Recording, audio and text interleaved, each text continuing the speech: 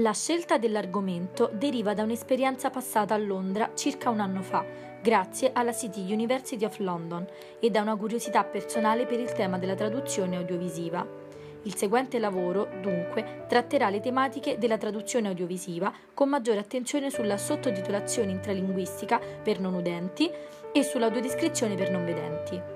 Ho pensato di schematizzare il lavoro in quattro parti. La prima parte è una presentazione della traduzione audiovisiva, con le relative tecniche di trasposizione, i protagonisti della traduzione audiovisiva e le varie soluzioni e forme di traduzione audiovisive. La seconda parte si concentrerà sul tema della sottotitolazione, in cui verranno esaminate le caratteristiche principali, lo scopo dell'utilizzo dei sottotitoli e l'ausilio per disabili. Nella terza parte si analizzerà il mondo della sordità, con una focalizzazione alla tecnica di sottotitolazione intralinguistica per non udenti. La quarta ed ultima parte attraverserà la tematica della cecità, con riferimenti specifici ad alcuni tipi di cecità, ai diversi programmi che vengono utilizzati per audiodescrivere e per sottotitolare, ed infine un preciso riferimento alla tecnica più importante che è l'audiodescrizione. La competenza linguistica svolge quindi un ruolo di primaria importanza, in quanto è indispensabile per usufruire dei prodotti audiovisivi di ogni nazionalità e per comprendere il significato dei testi che questi nuovi prodotti incorporano. È sorta così una nuova esigenza, ovvero quella di abbattere qualsiasi tipo di barriera, linguistica, culturale, ma anche sensoriale, che impedisca una piena accessibilità e fruibilità dei prodotti distribuiti per mezzo delle tecnologie audiovisive e multimediali ad un pubblico sempre più vasto ed eterogeneo in termini di età, sesso, livello, capacità ricettive, lingue e cultura. In conseguenza di tale fenomeno ha assunto un'importanza cruciale la dimensione culturale, linguistica e traduttologica. Esistono due tipi di servizi di accesso alla televisione per sordi, l'interpretazione in lingua dei segni e la sottotitolazione. L'interpretazione in lingua dei segni avviene tramite un interprete che compare su una parte dello schermo diviso in due o in una finestra in basso che occupa una piccola parte dell'immagine.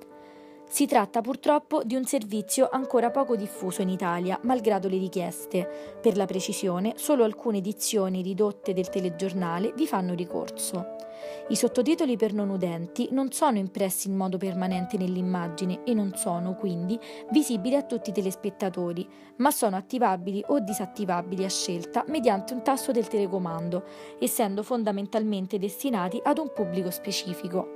La sottotitolazione intralinguistica rappresenta oggigiorno un supporto essenziale per un numero inestimabile di sordi.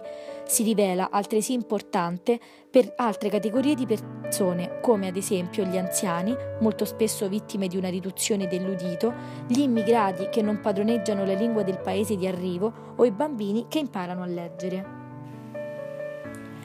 In Italia l'audiodescrizione è una tecnica relativamente recente che consente di rendere accessibili alle persone cieche o ipovedenti prodotti audiovisivi quali film, fiction, documentari, show televisivi, ma anche eventi sportivi, spettacoli teatrali e manifestazioni religiose consiste nella creazione di una traccia audio aggiuntiva che esplicita tutti gli elementi visivi a cui la persona ipovedente o non vedente non può avere accesso, quali costumi, setting, colori, espressioni facciali, caratteristiche fisiche ed azioni. Solitamente l'audiodescrizione viene inserita all'interno delle pause non pertinenti tra le battute dialogiche del prodotto di riferimento, ma non devono mai sovrapporsi agli effetti sonori e musicali. Possiamo sintetizzare il processo di audiodescrizione di un film attraverso le seguenti tappe. 1. Prima visione del film da audiodescrivere da parte di un team di audiodescrittori. 2. Analisi del film scena per scena e discussione di quali momenti richiedano l'ausilio di un'audiodescrizione. 3. Realizzazione di una bozza dell'audiodescrizione.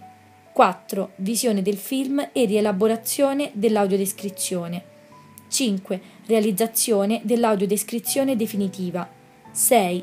Registrazione dell'audiodescrizione da parte di un attore professionista. 7. Montaggio audio. 8. Verifica dell'audiodescrizione da parte di un professionista non vedente appartenente ad un altro team. 9. Realizzazione dei media necessari alla distribuzione, come DVD e MP3.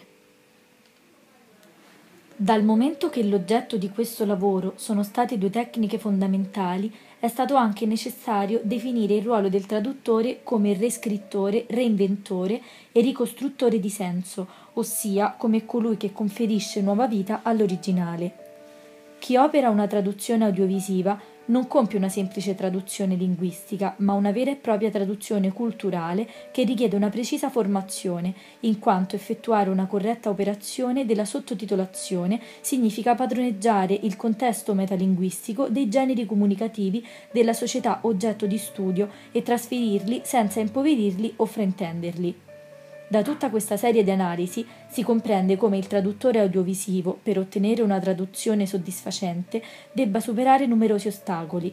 Ecco perché è tenuto ad impiegare tutta la propria creatività, così da trasmettere correttamente e senza fraintendimenti il messaggio di partenza, le traduzioni devono offrire soluzioni creative e fedeli rispetto ai dialoghi originali e lasciare inalterati i riferimenti culturali, al fine di rendere lo spettatore partecipe della realtà altra rappresentata.